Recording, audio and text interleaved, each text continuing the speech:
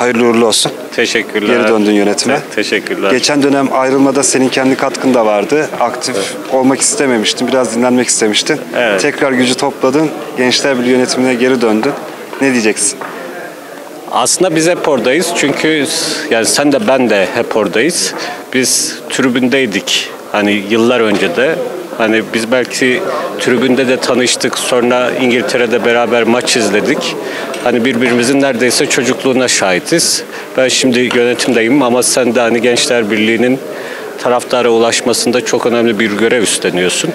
Hani başka tribünden arkadaşlarımız da şimdi tribün lideri, başkaları hani e, nedir o oluşturdukları gruplarla e, hala bu ilgiyi devam ettiriyorlar.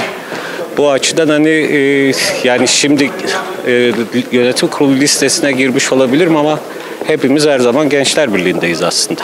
Yani öyle de neticede bir buçuk yıldır falan bir aslında bir duraksama dönemi vardı. Hatta iki senedir Gençler Birliği'nde.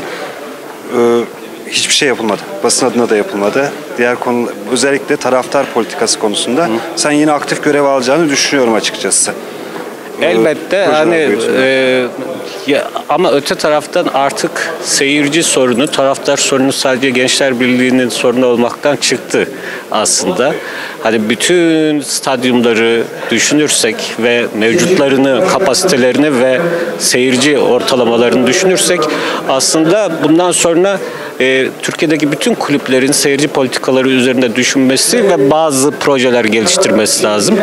E, belki yani bizlerin yapacakları, yapabilecekleri şeyler hani e, onlara da örnek olur. Yani öyle onlara da örnek olacak şekilde Hazırlandın diyorsun.